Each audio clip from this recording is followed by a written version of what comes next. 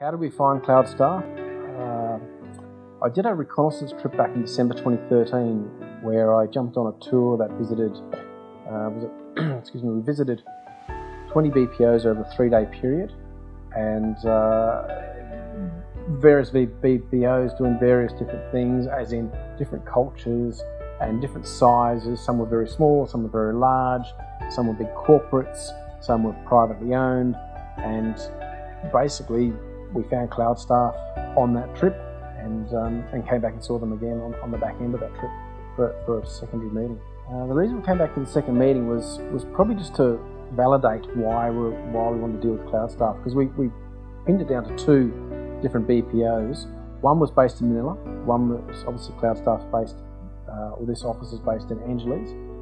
Uh, I had some concerns about Manila, and those concerns were flooding, electricity issues, and also the um, many people that work in Manila, it's my understanding, go to Manila because as a career, uh, but then go back to the provinces. Whereas Angeles is more sort of in the provinces, and so people work here as a lifestyle choice, and also there's a good supply of, of, of um, you know, candidates here because of the universities and the likes of that, and it's actually proved to work out really well. So we came back to Cloudstaff was I just wanted to check on to make sure that the culture was the same as our culture in the office.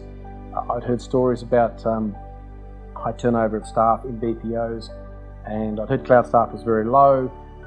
But I mean, you know, words are only only part of it. I really wanted to actually, you know, get to know the CEO a little bit more, and also the account manager at the time, and um, just make sure we were going to the right place. And of course, how's it all working out? Uh, well, we're 18 months in.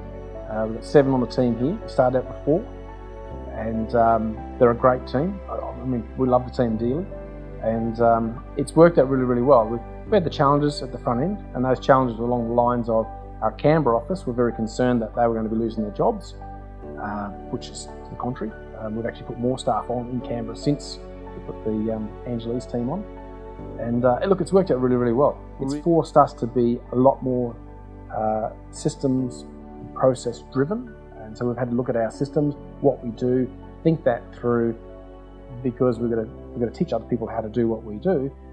But it's, it's the little things like, um, you know, if, if I said to someone in Australia, can you name all the, the banks in the Philippines? Can you tell me all the postcodes in the Philippines? Can you tell me all the provinces in the Philippines? Every other Australian would sort of have no idea. Well, flip that over, come to the Philippines and say to, to your team over here, okay, I want you to know all the states in Australia, all the postcodes, area codes. Um, they don't know that. So you've got to teach all that. So that starts, you start breaking things down, thinking, um, I've got to think like them and, the, and, and where they're coming from so they can understand where we're coming from. So it made us really break down into bite-sized bits what we actually do with our business. And, and from that, we built, built some great training manuals and videos, which helped everybody on both sides of the between the two offices.